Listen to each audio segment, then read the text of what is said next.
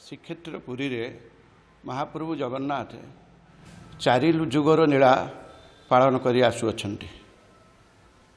ତେତିଆ ଯୁଗରେ ମହାପ୍ରଭୁ ଜଗନ୍ନାଥ ରାମ ଅବତାରରେ ରାମନୀଳାରେ ଆଠ ସାହି ବାସିନ୍ଦାମାନଙ୍କ ସହିତ ନିଜେ ସ୍ୱୟଂ ସାମିଲ ହୁଅନ୍ତି।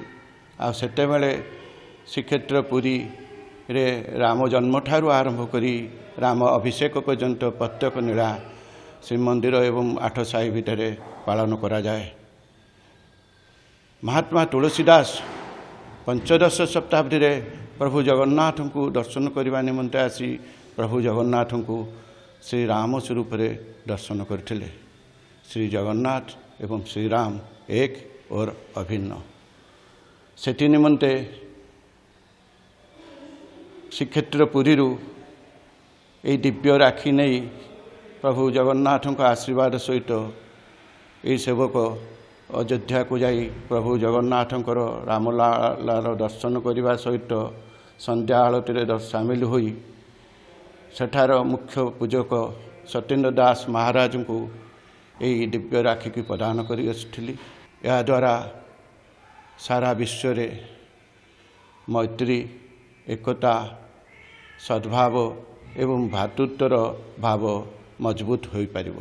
ଆମେ ଜଗନ୍ନାଥଙ୍କର ସେବକ କୂଳରେ ଜନ୍ମ ଏବଂ ଜଗନ୍ନାଥଙ୍କର ଦୁଇ ହଜାର ଏକ ଠାରୁ ଜଗନ୍ନାଥଙ୍କର ଏହି ସିଙ୍ଗାରୀ ସେବା କରି ମୁଁ ପ୍ରଭୁ ଜଗନ୍ନାଥଙ୍କ ହାତରେ ମହାପ୍ରଭୁଙ୍କର ଭଉଣୀ ସ୍ୱରୂପ ବାରମ୍ବାର ଜଗନ୍ନାଥ ଠାକୁରଙ୍କ ହାତରେ ରାକ୍ଷୀ ବାନ୍ଧି ଆସୁଅଛି।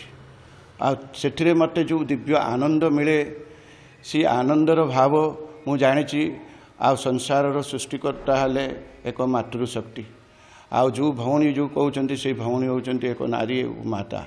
ଆଉ ତାଙ୍କର ଆଶୀର୍ବାଦ ଯେତେବେଳେ ଜଗତ ଉପରେ ପଡ଼ିବ ଆଉ ତାହା ସାରା ଜଗତ ହେଉଛି ଆନନ୍ଦ ହୋଇପାରିବ ଏବଂ ସାରା ଜଗତରେ ହେଉଛି ଭାତୃତ୍ୱ ଏବଂ ଏକତାର ଭାବ ସୃଷ୍ଟି ହୋଇପାରିବ ବୋଲି ଆମେ ଅନୁଭବ କରି ଏହି ଭାବନାକୁ କେମିତି ଆଗାମୀ ଦିନରେ ପୂର୍ଣ୍ଣ ରୂପରେ ଧାରଣା ହେବ ଯେ କିଭଳି ଭାବେ ଜଗନ୍ନାଥ ସଂସ୍କୃତି ଏବଂ ଶ୍ରୀରାମଚନ୍ଦ୍ରଙ୍କ ସଂସ୍କୃତି ଏକ ହେବ ତାହାକୁ ନଜରରେ ରଖି ଏହି ସ୍ୱପ୍ନ ମୁଁ ଆରମ୍ଭ କରିଥିଲି। ଗତ ବର୍ଷ ମଧ୍ୟ ମହାପ୍ରଭୁଙ୍କ ଉଦ୍ଦେଶ୍ୟରେ ମଧ୍ୟ ଦୋଳ ପୂର୍ଣ୍ଣମୀକୁ ଫଗୁ ମଧ୍ୟ ପ୍ରଦାନ କରିଥିଲି। ତାହା ମଧ୍ୟ ରାମଲାଲା ମଧ୍ୟ ଦର୍ଶନ କରିଥିଲେ।